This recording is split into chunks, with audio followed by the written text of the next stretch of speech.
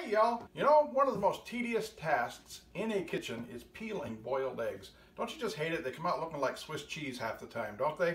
Well, I'm going to show you a couple of tricks that will help you peel boiled eggs and have them come out perfect 99% of the time. This is Tupper's 4-in-1 multi-cooker. Absolutely love this thing.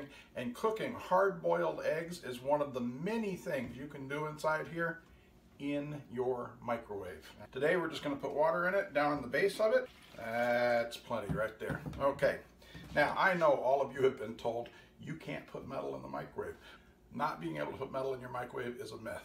Your microwave is made of metal. Somebody's been lying to you your whole life. You just have to follow a few rules. Now this is a metal bowl. It's encased in plastic to help keep the metal cooler.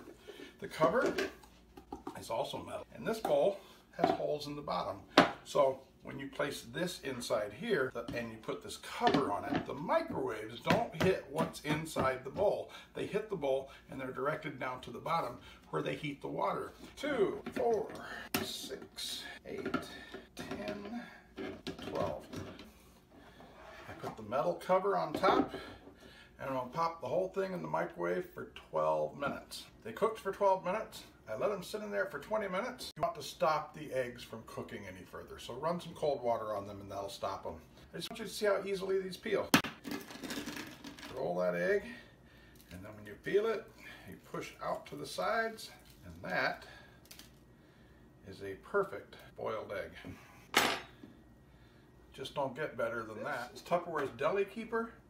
It's got this nice little elevator lift.